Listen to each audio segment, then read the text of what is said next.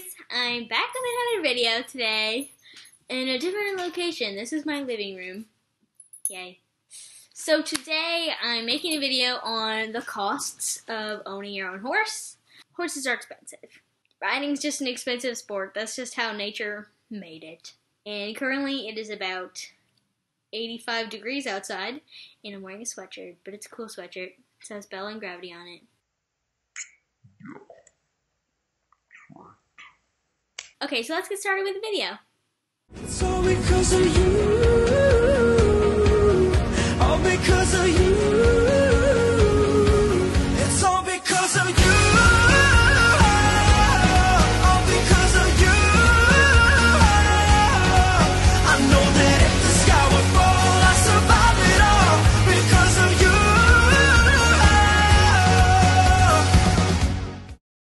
There are truly lots of costs that go into owning a horse, but I'm just going to name some of the more basic ones that you need to initially know before you buy a horse. The horse, the cost of the horse is pretty expensive depending on what you want. Um, you can get like a project horse for like a couple hundred, I believe, like a quarter horse, or you can go big right off the bat and get like a regular, like two thousand dollar horse. Or I know this girl who um she's the daughter of um, the company Dell, and she just bought a four hundred thousand dollar horse.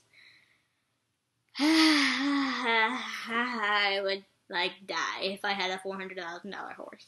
The next price is board, which can be super duper expensive depending on where you live, or super duper cheap. Where I live, I live in Missouri, it's usually about 300 per month depending on where you are and like what kind of board you want like at uh, my barn we have condos which are super duper expensive but they're really cool. They have like their own little pasture and like a stall attached to them. And then there's pasture board and then like stall board.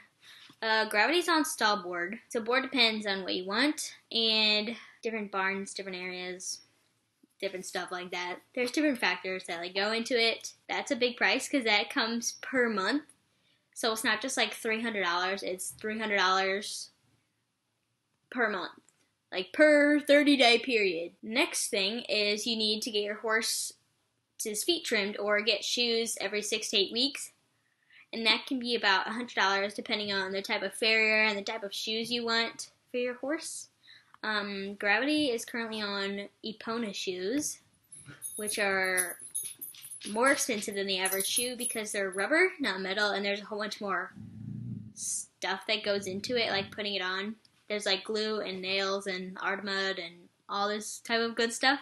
There's the vet, which is annual shots once a year, which are about $100 more or less depending on like your vet and where you are again and like what kind of shots you need for your horse.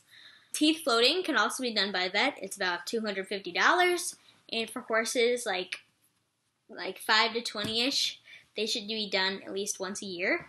And if for horses over 20 it should be about twice a year. Lessons if you take lessons they're about $30 a week depending on trainer and type of lesson. And whether it's like a group or like a solo unless you don't take lessons which is cool too.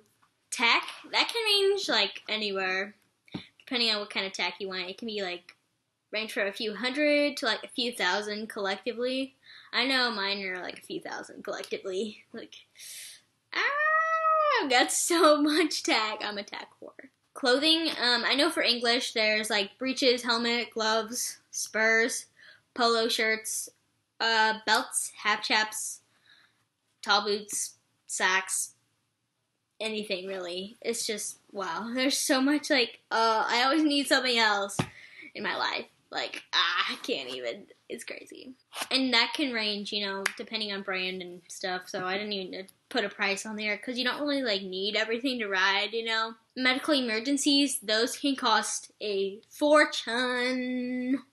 Like it's crazy. Like if your horse like stabs itself, like Gypsy did um, a while back, you know, that was like a thousand dollar vet bill right there. You know, medical emergencies do happen, and you just want to be like financially prepared that something horrible could happen, you know? Like, even if your horse is stalled, something could still happen. I know this girl, and she had her horse tied to a stall, and she was grooming him, and something happened, and he spooked, and he ripped the stall door off and took off. And it was still like attached to him, like the stall door was, and so he was like running, running through like the property with this stall door attached to him, and it like kept hitting him, and um, you know they eventually caught him, and his legs were so torn up, and they're so lucky nothing was like broken or anything because it was like really bad, and wow, he had to go to like the hospital and everything. It was crazy. Shows there's like entry fees, trailering fees, and then like food because everyone gets hungry at shows. I don't know. You know, regular stuff such as like medical sprays like Vetericyn, creams. You can get hoof polish, fly spray, shampoo, detangler, treats, stuff like that.